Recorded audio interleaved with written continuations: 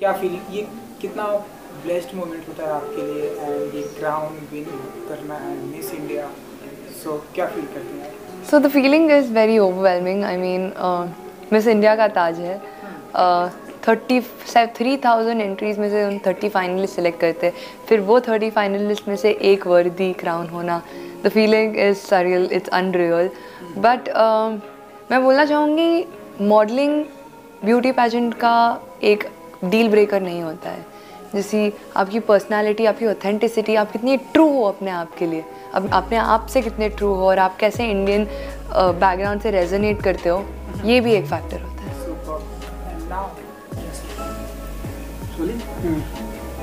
And so अब ये जो क्राउन के बाद क्या कुछ फीलिंग है क्या फील करती हैं सिनी जी? एंड कितना ब्लेस्ड मोमेंट है आपके लिए? क्राउन मिलना एक सच में काफ़ी ब्लेस्ड फीलिंग है. But with that come response comes responsibilities I mean आपको एक, हर एक यूथ हर एक सिटीज़न आपको एक यू नो इन्फ्लुएंसर के नज़र से देखता है कि वो इन्फ्लुएंस करेंगे for the positive thoughts in the betterment of the world and India मैं इंडिया को रिप्रेजेंट कर रही हूँ, मैं इंडिया के एथिक्स को रिप्रेजेंट कर रही हूँ, मैं इंडिया के वैल्यूज़ को रिप्रेजेंट कर रही हूँ। तो वो एक रिस्पॉन्सिबिलिटी है जिसमें मैं अपने लर्निंग्स बाहर दे रही हूँ और मैं दुनिया से सीख भी रही हूँ। सो जब ये पूरा चल रहा था, ये बहुत सारे कंटेस्टेंट थे, तब आपके दिमाग, जब आपने फ़र्स्ट टाइम आपने कब सोचा कि मुझे ऐसे पार्टिसिपेट करना चाहिए मिस इंडिया में पार्टिसिपेट करना चाहिए? एंड ये थॉट आपके दिमाग में कब आया?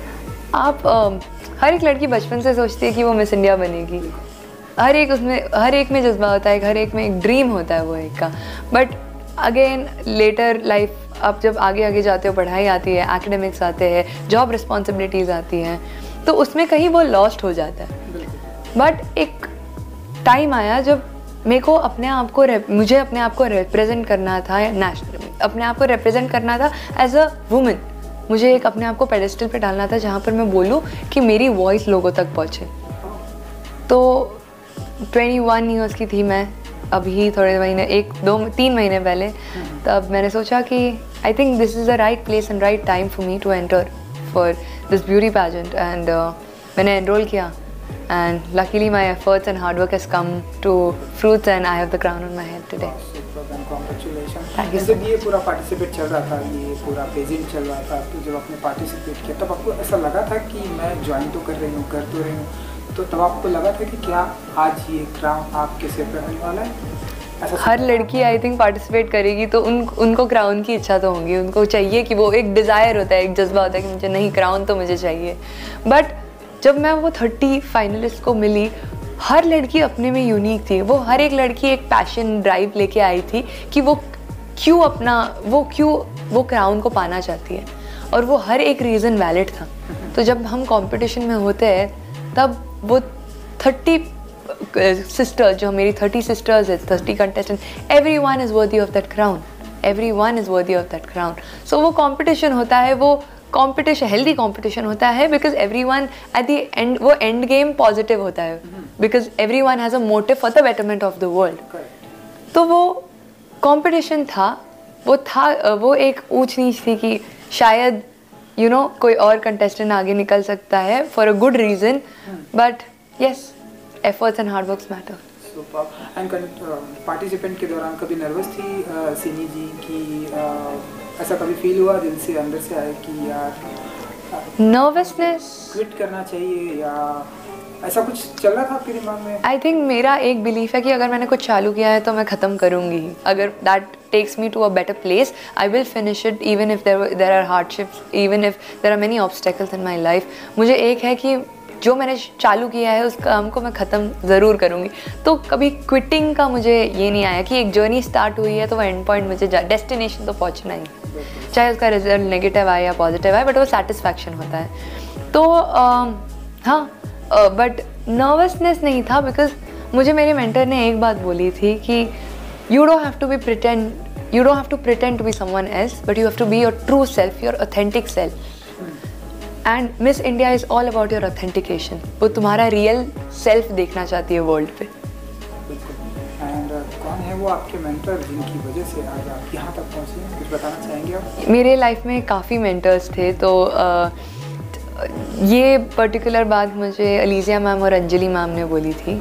वो दोनों मेरी मेंटर्स थी for this pageant tour for this pageant run they have help me a lot the reason I am today here is because of them and many others there are there is a list of mentors there I have there less of mentors more of mothers to me at this point and your mom dad का क्या reaction था जब उन्हें पता चला कि उनकी daughter जो है मिस इंडिया पे जिनकी विनर है?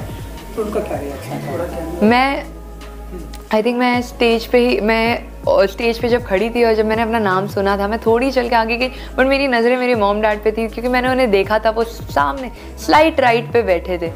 जो खुशी से वो उठे थे उनके की यू you नो know, उनकी बेटी मिस इंडिया बनी है मिस इंडिया वर्ल्ड 2022 बनी है तो वो जो उनके फेस पे जो हैप्पीनेस था वो कंटेंट दिखा कि they are proud of me they are proud of the fact that I am their daughter मुझे एक सेटिस्फैक्शन और कंटेंट मिल गया कि my parents are proud of me and Sini ji ये जो आपने क्राउन जीता है हम सभी की तरफ़ से congratulation thank you so much इसके अलावा ये जो रास्ता जाता है कहीं ना कहीं बॉलीवुड की तरफ़ भी जाता है हिंदी फ़िल्म इंडस्ट्री की तरफ़ भी जाता है लोग बहुत सारे लोगों को हमने देखा है जो विनर हुए हैं। चाहे वो मिस इंडिया की मैं बात करूँ मिस यूनिवर्स की बात करूँ। हिंदी फ़िल्म इंडस्ट्री की तरफ़ जाते तो क्या हम ऐसा माने कि सिनी जी अब इसके बाद फ़िल्मों में भी हाथ आजमाएँगे फ़िल्मों में हम आपको देखेंगे? तो क्या कुछ करना क्या है Uh, मेरा एंड गेम है मुझे अपने आप को एक ब्रांड बनाना है एक ब्रांड वैल्यू बनाना है कि थर्टी थर्टी या twenty years down the line मैं अपने सारे पैशन और प्रोफेशन को एक यूनिफाई करके मैं एक ब्रांड बनाऊँ जिसमें मैं खुद को एक ब्रांड कह सकूँ। मैं अपने ब्रांड को चला ना पाऊँ मैं खुद से ही अपना एक ब्रांड बनाऊँ। तो हाँ अगर मुझे एक अच्छा अपॉर्चुनिटी मिला where it will help build my status help build my name my brand value then ये sure thing I would really love to try out for a movie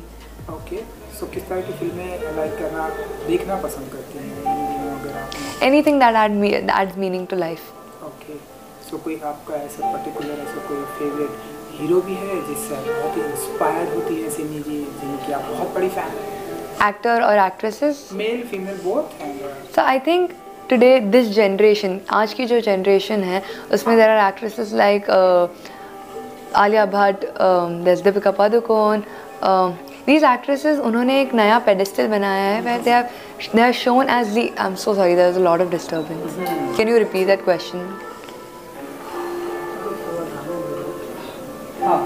alright so हम देखेंगे आपको कि लाइक फ़िल्म की दुनिया में जो कौन कौन से ऐसे एक्टर हैं जिनसे आप बहुत ही इंस्पायर्ड होती हैं जिनकी आप फ़िल्में देखती हैं।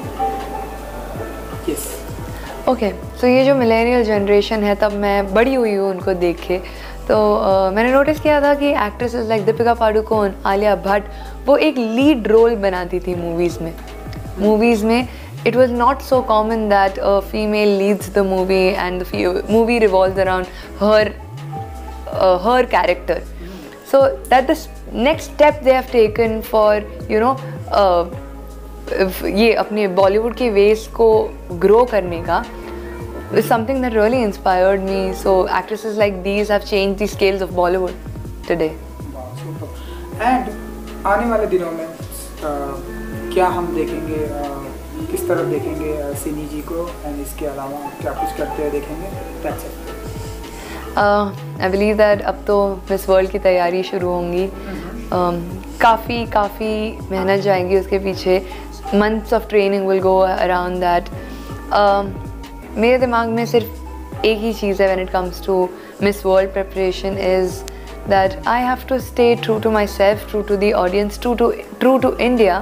मुझे इंडिया की ऑथेंटिसिटी लेके आनी है बाहर इंडिया की ओरिजिन लेके आनी है। I have to make a place in the world where people know for what India is and what India's authentication is and my only goal is to make India proud super चलिए हमारी तरफ़ से good luck कि आप इस Thank you so much. World बनकर आए thank you so much and good luck thank you so much